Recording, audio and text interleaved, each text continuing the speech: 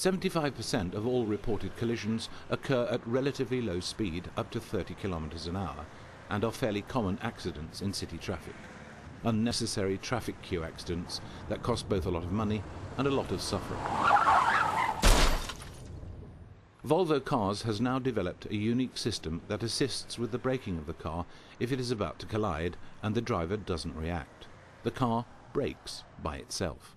The optical radar that is placed in the car's windscreen can detect vehicles that are relatively far away from the front of the car and assists in braking at speeds of up to 30 kilometers an hour.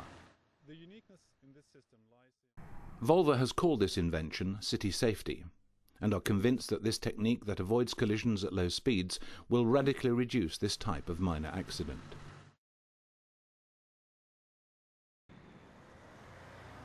The Swedish National Road Administration, who also actively work with preventive traffic safety, estimate that many whiplash injuries that are a major problem today could be radically reduced with the help of this technique.